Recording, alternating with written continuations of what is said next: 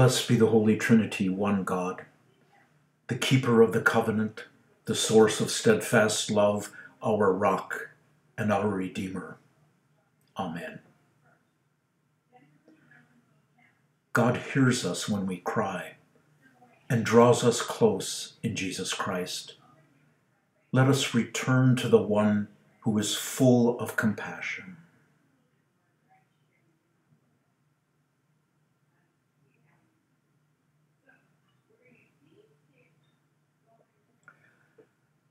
Fountain of living water, pour out your mercy over us. Our sin is heavy, and we long to be free. Rebuild what we have ruined, and mend what we have torn. Wash us in your cleansing flood, make us alive in the Spirit to follow in the way of Jesus as healers and restorers of the world you so love. Amen. Beloved, God's word never fails. The promise rests on grace. By the saving love of Jesus Christ, the wisdom and power of God, your sins are forgiven, and God remembers them no more journey in the way of Jesus. Amen. The grace of our Lord Jesus Christ, the love of God, and the communion of the Holy Spirit be with you all. Let us pray.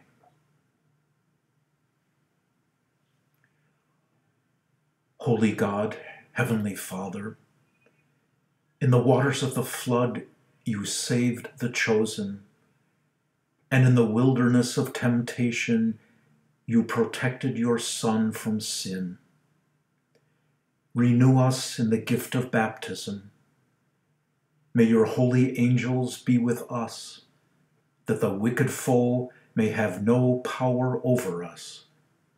Through Jesus Christ, our Savior and Lord, who lives and reigns with you in the Holy Spirit, one God, now and forever. Amen.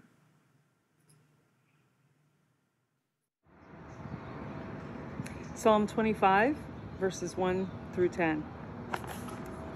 To you, O Lord, I lift up my soul. My God, I put my trust in you. Let me not be put to shame nor let my enemies triumph over me. Let none who look to you be put to shame. Rather, let those be put to shame who are treacherous. Show me your ways, O Lord, and teach me your paths. Lead me in your truth and teach me, for you are the God of my salvation. In you have I trusted all the day long. Remember, O Lord, your compassion and love for they are from everlasting. Remember not the sins of my youth and my transgressions. Remember me according to your steadfast love, and for the sake of your goodness, O Lord. You are gracious and upright, O Lord. Therefore, you teach sinners in your way. You lead the lowly in justice and teach the lowly your way. All your paths, O Lord, are steadfast love and faithfulness to those who keep your covenant and your testimonies. The Holy Gospel according to Mark.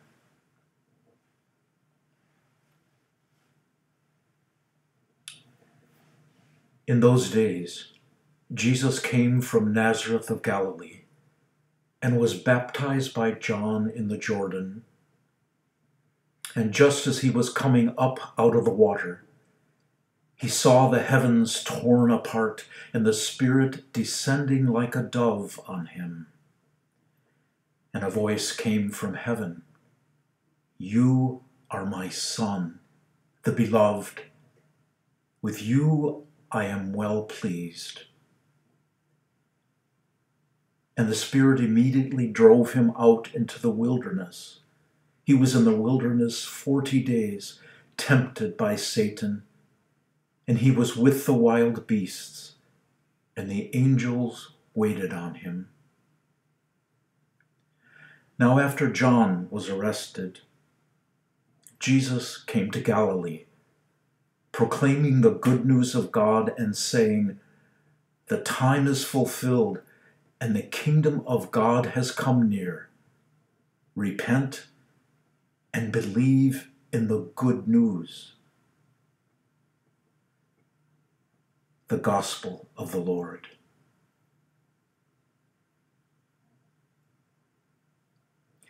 In the name of the Father, and of the Son, and of the Holy Spirit. Amen. In high school, I was not big enough to play on the football team. I was not tall enough to play on the basketball team, and I was not fast enough to be on the track team. Because of the consistent preaching of my pastor and the teaching of my Sunday school years, I was always aware that I was far from perfect even on God's scale of perfection. At the beginning of every Sunday's liturgy, I confessed that I had sinned against God in thought, word, and deed. Each Sunday's confession reminded me of all the ways in which my sinning had won the day.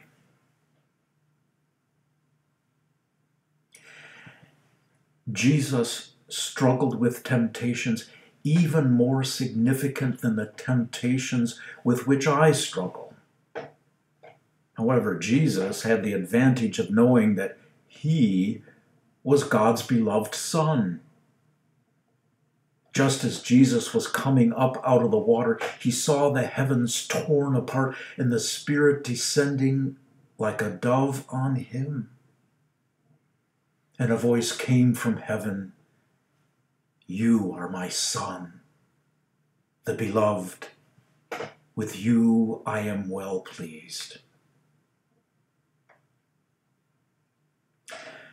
The haunting fear of my youth was that whether God is pleased with me or not, whether God thinks of me as beloved, is dependent upon how perfectly I have resisted all temptations to sin. You and I can easily fool ourselves into thinking that we would not struggle with temptations to sin if we were only perfect. In Mark's account of Jesus' baptism and receiving God's Holy Spirit, however, Jesus immediately is tempted to sin. A voice came from heaven You are my Son, the beloved. With you I am well pleased. And the Spirit immediately drove Jesus out into the wilderness. He was in the wilderness 40 days, tempted by Satan.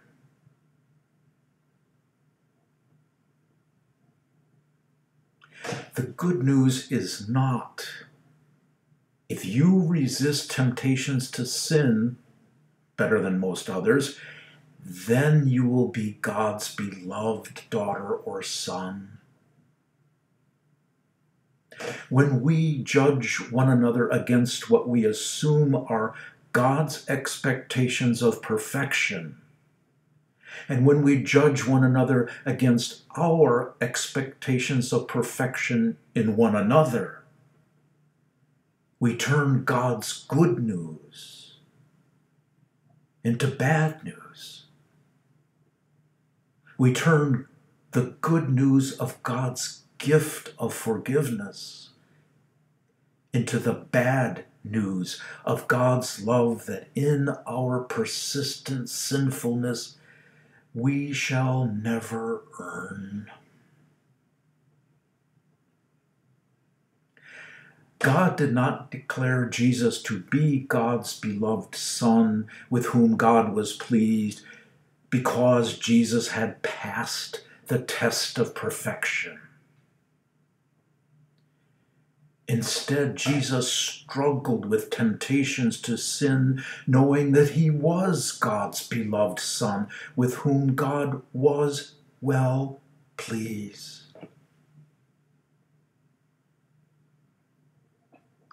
In the sacrament of holy baptism, God claimed you and me as beloved sons and daughters in the gift of forgiveness promised in holy baptism, not only are you and I beloved sons and daughters of God, but also God is well pleased with you and me. It is as beloved children of God that you and I struggle with temptations to sin God's gifts and promises of holy baptism are not dependent upon how close you and I can come to being perfectly sinless. We struggle against temptations to sin not to be loved by God, but we struggle against temptations to sin because God loves us.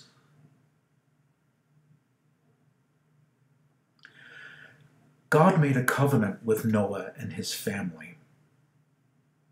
God would never forget God's promise to save us sinners from the penalty of our sins. Your hope and mine for perfection are not found within ourselves. The first letter of Peter reminds us of Jesus' commitment to sinners. Jesus' commitment even to sinners such as you and I. For Christ also suffered for sins once for all, the righteous for the unrighteous, in order to bring you to God.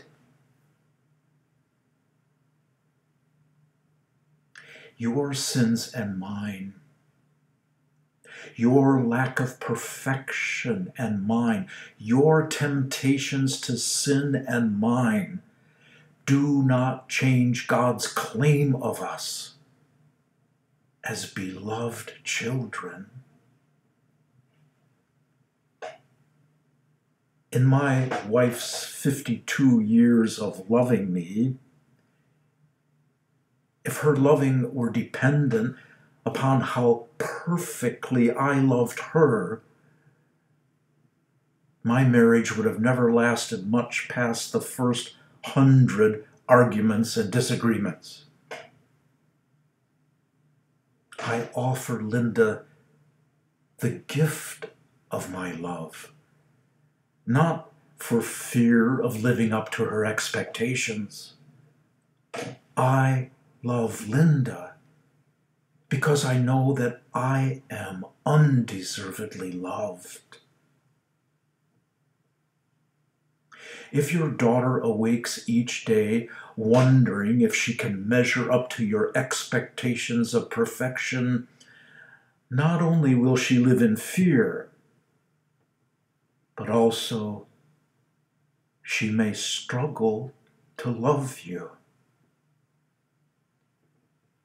If your friends at school are only your friends as long as you can come reasonably close to being the friend they expect you to be, then they are not true friends at all. True love is always a gift.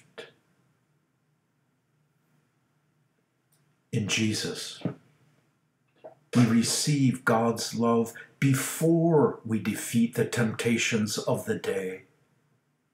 God envelops us in a persistent, forgiving love even when our quest for perfection fails us.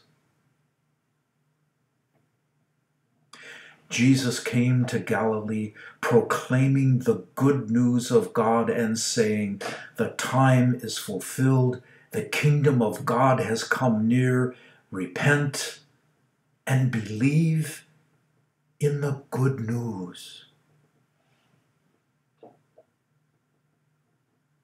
You are a beloved, baptized child of God. God is pleased with you and me even when we fail God, even when we fail one another. God baptized you and me to share God's gift of good news with other sinners who have failed God. To share God's gift of good news with other sinners who have failed you. And to share God's gift of good news with other sinners who have failed themselves.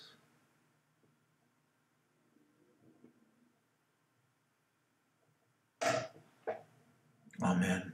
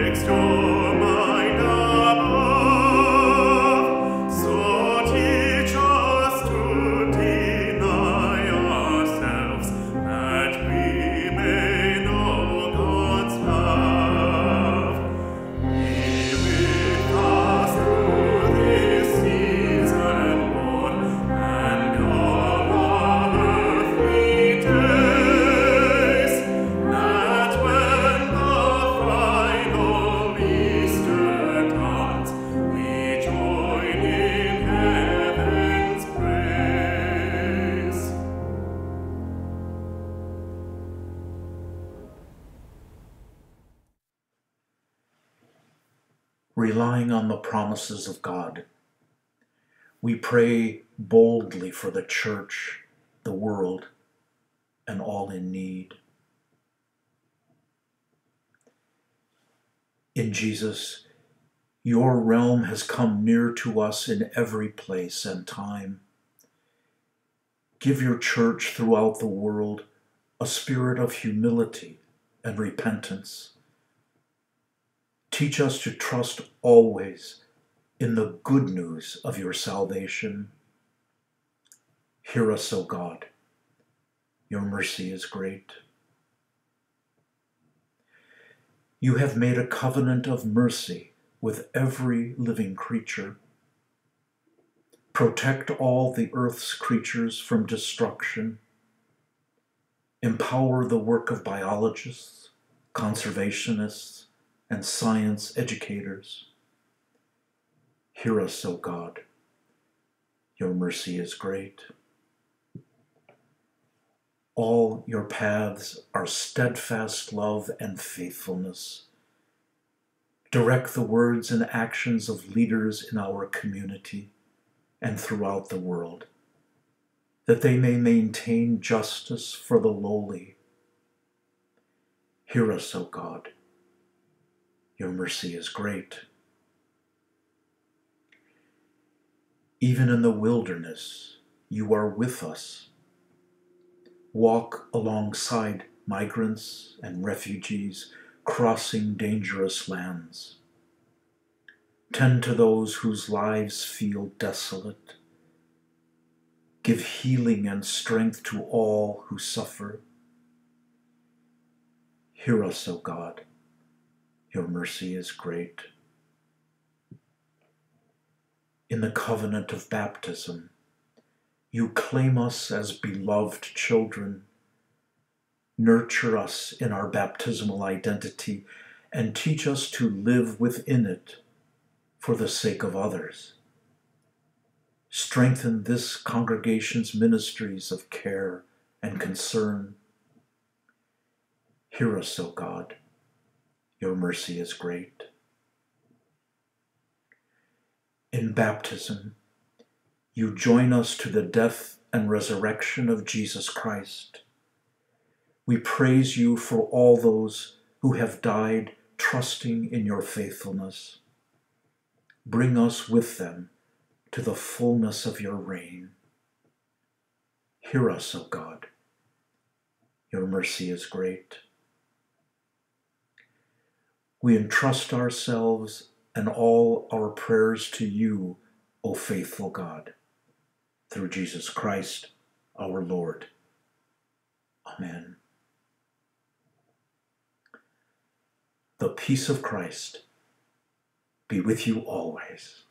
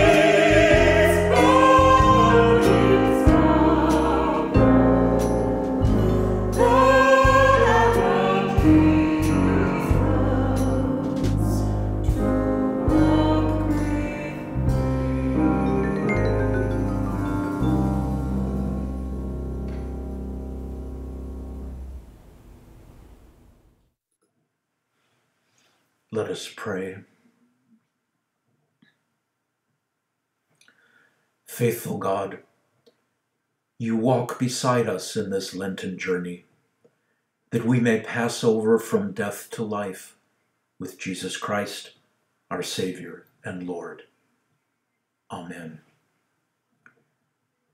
Gathered into one by the Holy Spirit, let us pray as Jesus taught us. Our Father, who art in heaven, hallowed be thy name. Thy kingdom come, thy will be done on earth as it is in heaven. Give us this day our daily bread, and forgive us our trespasses as we forgive those who trespass against us. And lead us not into temptation, but deliver us from evil. For thine is the kingdom and the power and the glory, for ever and ever. Amen.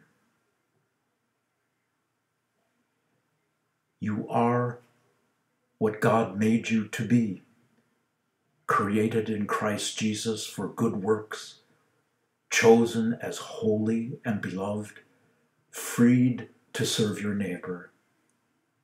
God bless you, that you may be a blessing.